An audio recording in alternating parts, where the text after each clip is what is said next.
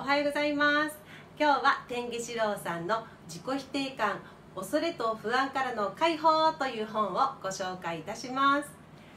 ページをめくりますとこのように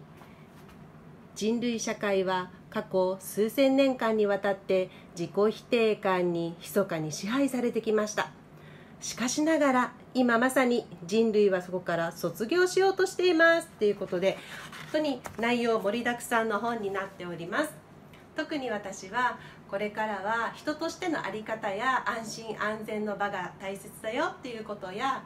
平和の守り手というキーワードが出てくるんですけれどもそこが心に特に響きました。どうぞお読みください。